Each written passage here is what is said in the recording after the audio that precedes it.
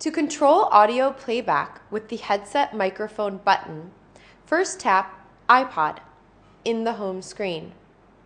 The last screen you visited in the iPod application opens. If this is not the Songs screen, tap Songs at the bottom of the screen. The Songs screen opens. Scroll to a song, say Highway Blues, and tap it.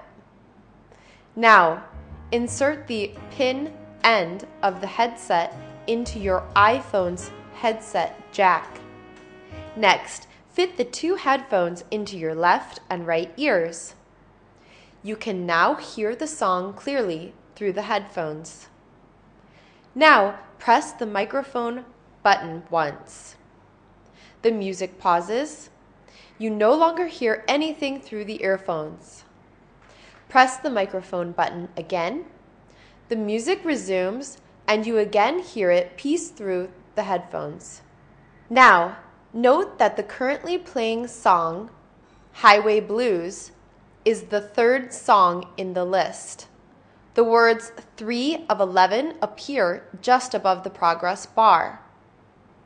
To skip to the next song, press the microphone button twice quickly. The screen for the next song, It's Now or Never by Elvis Presley, slides into view. The words 4 of 11 appear just above the progress bar. Now, tap the back arrow at the top left of the screen.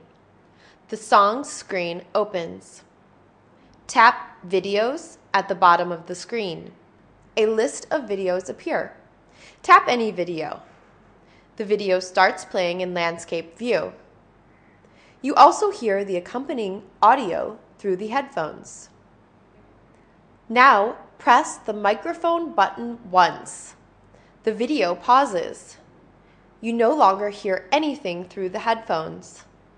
Press the microphone button again. The video resumes playing